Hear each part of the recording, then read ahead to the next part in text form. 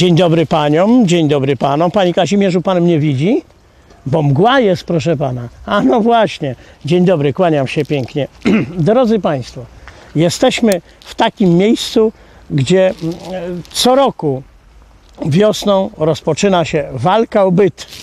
Nazywa się to ulica Korczaka i jej sam środek. Obiecywaliśmy Państwu, że tu przyjdziemy. I ta ulica Korczaka składa się. I tu Państwu wymienię.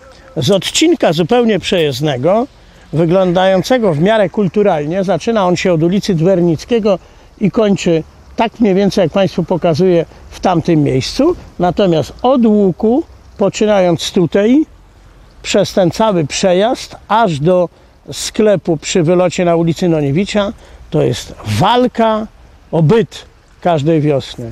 Tu już się ta nawierzchnia nie nadaje do żadnego remontu. Kiedyś tu leżała trelinka, jakieś takie płyty pobudowlane przez długi okres czasu. Potem udało się położyć tutaj trochę asfaltu.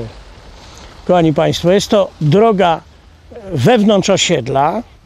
Strefa zamieszkania jest oznaczona na ulicy Korczaka, czyli w tym miejscu obowiązuje co? Jak pan mówi, panie Kazimierzu? Aha, 20 km na godzinę. Tak, prędkość do 20, nie 20, do 20 km na godzinę na tym osiedlu. A poza tym, kochane panie i drodzy panowie, obowiązuje tu tak zwana logika. Zróbmy tak, podejdźcie państwo tu do mnie bliżej. Tu jest, proszę państwa, na przykład ja wziąłem dzisiaj ze sobą miareczkę i mamy taką dziurę pierwszą, którą byśmy tutaj wymierzyli. No kurczę, zobaczymy. To jest, kochani Państwo, prawie metr, bo 92 cm, szerokość 50. 50, 92 i w najgłębszym miejscu, w najgłębszym miejscu tej miareczki to jest ponad 11 cm. Tu, ten otwór, jeden, a tu są jeszcze większe w tym miejscu otwory i one są wszędzie. Tu jest taki sam, także jak wjadę tutaj w te, w te rozpadliny, w te pęknięcia asfaltu, tam też je widać przez całe y, pociągnięcia, tu resztka progu zwalniającego, to jak tam Państwo widzicie, to tu jest ta dziura na dziurze. Tu jest tragedia. Ja wiem, że tego wcześniej nie można było remontować, że nie opłaca się tego łatać na zimno, bo nie wiem, czy Państwo wiecie, że jest taka masa do łatania na zimno. Ona się długo nie utrzymuje. Jest to tak zwana czasówka i widać, tutaj przyjeżdżają panowie i niektóre ulice są tak łatane. Otwierają taki worek, masa asfaltowa na zimno, tam jest zagęszczana trochę i ona się trzyma, ale niedługo, a kosztuje drogo, bo tam chyba z 6 czy 7 tysięcy kosztuje metr takiej masy. A tu proszę zobaczcie, o jedzie sobie, drodzy Państwo, samochód i o jak jedzie, przez te wszystkie dziury, jak przejeżdża, w jaki sposób Mercedes pojechał, prawda? Przecież tu przejazd tym kawałkiem, o którym mówimy, to zalicza się do przejazdów wielce odważnych. Tu zawodowi kierowcy to powinni dostawać tak jak górnicy strachliwe w kopalni. Dodatkowo albo mleko, tam nie wiem, takie były dodatki w kopalniach. Przejazd tędy. Tu urwanie zawieszenia to jest y, normalne chyba, że w tym miejscu można urwać zawieszenie. To tu, gdzie stoimy, przy tym progu, a przejdźmy na łuk zakrętu. Tam to w ogóle już walczono z tymi y, dziurami w tamtym roku. No, desperaci tu przyjeżdżali, tacy z tej, z tej firmy łatającej dziury. Ci ludzie mówili, to i tak nic nie da, ale, no ale spróbujemy. Tu musi być położona niestety nawierzchnia dywanik wyrównujący, bo nic z tego nie będzie.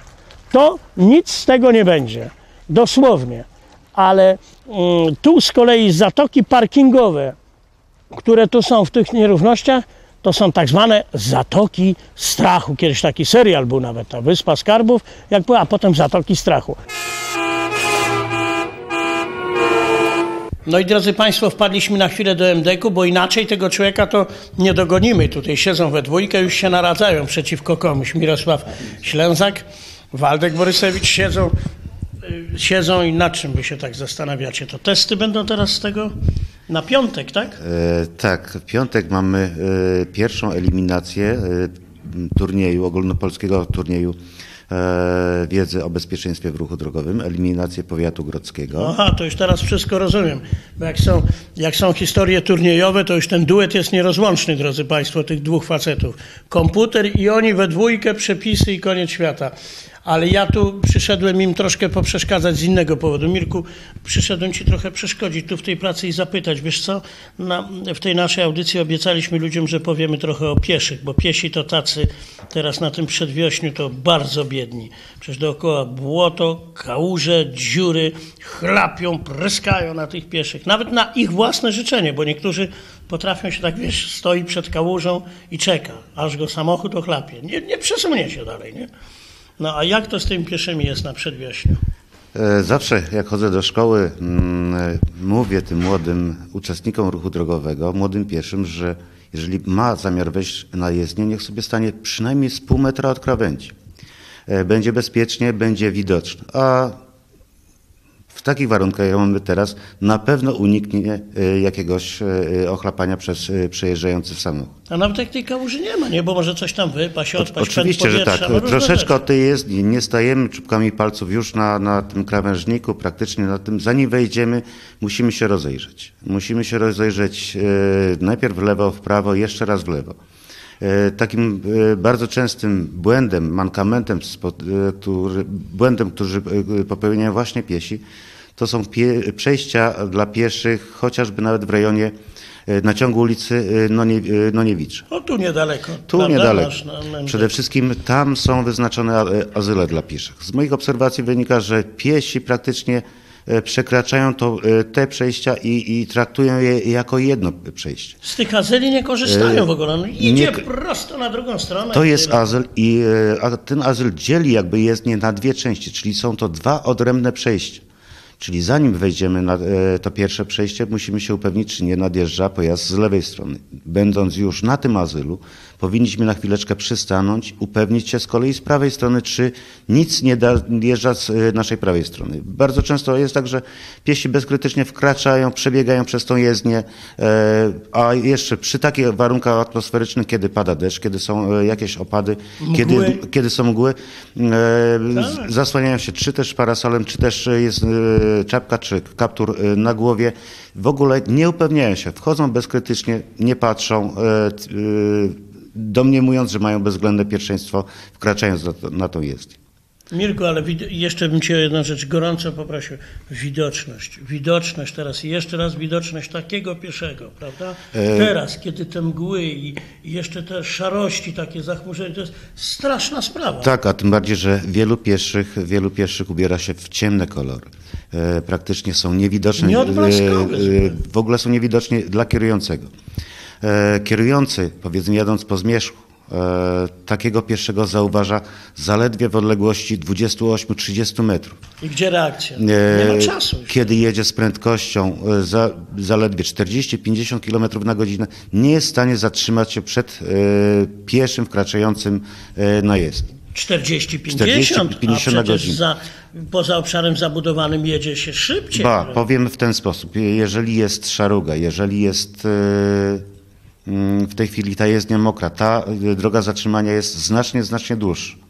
E, Kierowca, aby uniknąć takiego nagłego e, potrącenia, e, w ogóle potrącenia pieszego przez no, nagłe, nieostrożne wejście pieszego na jezdnię, musiałby jechać z prędkością zaledwie 27-28 km na godzinę. Co jest nie, nielogiczne. Może tak nie, nie, nielogiczne, ale co by się wtedy stało, gdybyśmy wszyscy tak jeździli z taką prędkością? Praktycznie byśmy zakorkowali miasto, nie moglibyśmy się przez to miasto poruszać. No. Więc pieszy, zanim wejdzie na tę jezdnię, musi zachować ostrożność, musi się upewnić. No i oczywiście nosić te elementy. Powiem tylko tyle. Y, Osoba piesza, która porusza się y, po zmierzchu, jeszcze ubrana na czarno, kierowca widzi taką osobę zaledwie 28 metrów przed swoim pojazdem. Zauważ, jeżeli jest element odblaskowy, chociażby najmniejszy, gdzieś y, na ubraniu, na obuwiu, taka osoba już jest widoczna z odległości co najmniej 50-60 metrów. A więc kierowca jest w stanie zatrzymać. No Rozumiem. Dzięki Ci serdeczne, Mirku, bo czas nas goni, a ja muszę się jeszcze pochwalić wiedzą, bo to zawsze pod okiem Mirka parę takich przepisów yy, się mówi i sprawdza, czy to na pewno jest dobrze. Kochani Państwo, macie obowiązek ustawowy wyposażania swoich dzieci, które się poruszają poza obszarem zabudowanym o zmierzchu w elementy odblaskowe.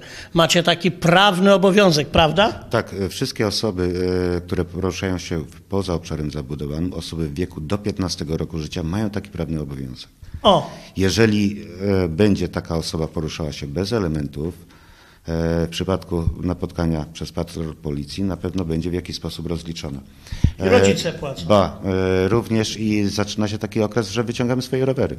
Również zadbamy o te swoje rowery, żeby one były również widoczne, żeby miały również swoje światełka, tak jak każdy jeden pojazd. Mirku, do rowerów wrócimy jeszcze. Dzięki serdeczne, drodzy Państwo. Biegniemy na drogę. Co się dzieje, Panie i Panowie, z instalacją elektryczną po zimie, wiosną? My tego nie widzimy, szczególnie w starych samochodach. Z tą instalacją dzieją się różne rzeczy. Dlaczego tego nie widzimy? Bo to instalacja elektryczna w samochodzie jest zawsze gdzieś skowana. Prowadzona gdzieś pod, y, pod podwoziem, w załomach, gdzieś y, szczelinami, w tych y, podłużnicach, poprzecznicach. Niektóre historie idą gdzieś pod podłogą, pod dywanikami. Pochowana jest, no bo tej instalacji po prostu nie widać. Końcóweczki tylko do nas wychodzą, o takie o, te końcówki różniste. Wsówki, wiecie Państwo, najczęściej. Wsówki, styki, niektóre firmy takie zatrzaskowe wsóweczki y, mają. Ja tu mam takie kawałki instalacji elektrycznej z wsówkami. A skąd my mamy takie kawałki instalacji? Przyszliśmy po prostu na składnicę złomu, drodzy Państwo, gdzie te instalacje samochodowe leżą. No bo tu je dopiero widać, jak już nie wyrywane są z samochodu i tu można się im przyjrzeć.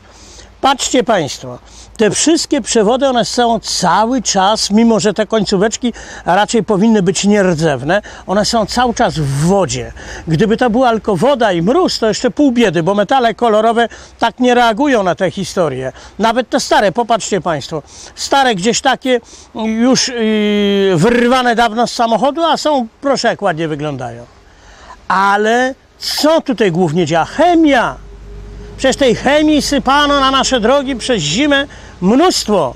Dlatego, kochani Państwo, jeśli tylko będzie taka możliwość, żebyście mogli wysuszyć przesuszony samochód, zobaczyć, obejrzeć i tam, gdzie Wy możecie zajrzeć, pomierzyć, czy nigdzie nie ma zwarcia, czy nigdzie nie ma ubytków prądu, czy on się nie rozładowuje, czy nic się nie świeci, kochani Państwo.